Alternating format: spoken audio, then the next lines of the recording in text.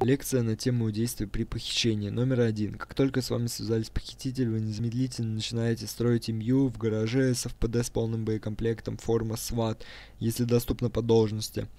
А, тейзера, а, набор объектов, вертолета от каждого МЮ это обязательно. Второе.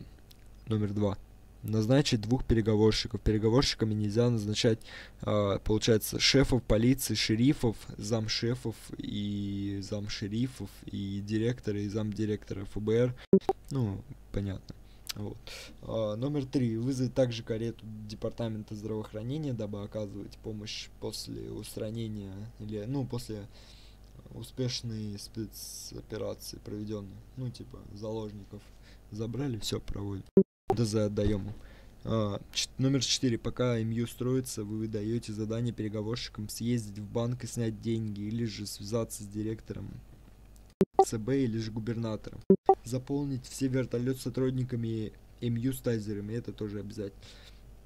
Ш номер 6. Как только место встречи было назначено, выдвинуть МЮ на место, но не, при не приближаться к месту встречи, дабы не сорвать похищение. Номер 7. Как только деньги были переданы и у вас в руках оказались похищаемые, то отдается, отдаете команду вертолетом преследовать кейс с деньгами.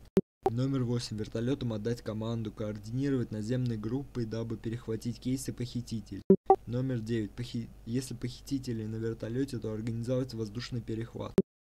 Номер 11. Оказать похищаемому первую помощь. Номер 11. До этого был номер 10 Номер 11 допросить похитителей. А, номер 12 составить кейс на похитителя.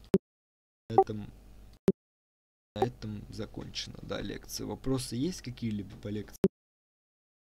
Нету. Нет.